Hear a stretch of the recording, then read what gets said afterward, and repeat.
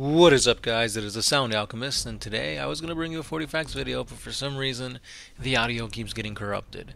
So hopefully this one doesn't get corrupted because I'm using something else and uh, it's just been really really frustrating. So a uh, short video today, apologies apologies. However, what I do want to ask you guys is two things. One, I'm going to include a character that's going to be representing, I guess, me into my celestial suns, or I could either include that character into the infernal suns. So the two questions for you guys is which one should I put myself in, or I could put myself in both. And then the other question is what model should it be? So, if you don't know the lore for the Celestial Suns, I'll give you a quick run through.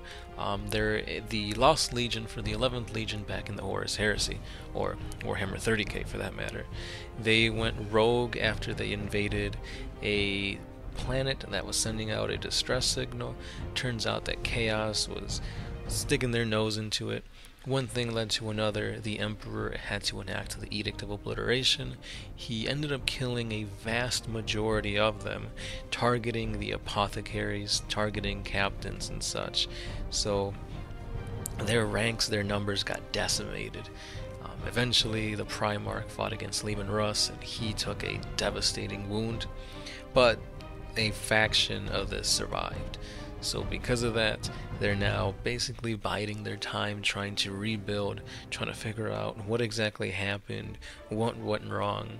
And um, now in 40k, they're actually trying to revive the Emperor to showcase that, hey, you know, we're not evil, we're not chaotic. However, a part of the surviving members did indeed become a Chaos Warband known as the Infernal Suns.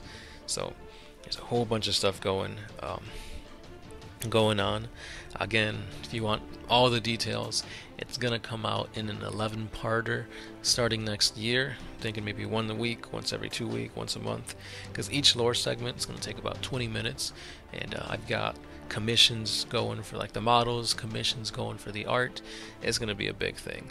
But again, that's in 2019, and uh, I just want to know like, because right now I have named characters, obviously, but none of them really represent me as if I was a part of the the army. So, if I put myself in it, A, would it be part of the Celestial Suns? B, would it be part of the Infernal Suns? Or C, would I be a loyalist? And then I've also gone traitor. And then the other question is, what type of model would I be? Am I going to be a Primaris, which I guess that's one way to include the Primaris into this army. So if you do say pick a Primaris, um, I need to know exactly how you would include me into it. Um, or I could be like a captain, a librarian. I could be the last remaining apothecary, which was something that I originally was going to do, but I think it'd be more interesting to see what you guys have to say. Um, maybe I can be a praetor, because again, this army does originate from Forge World, or 40k for that matter, which the Praetor is a Forge World model, so that'll work.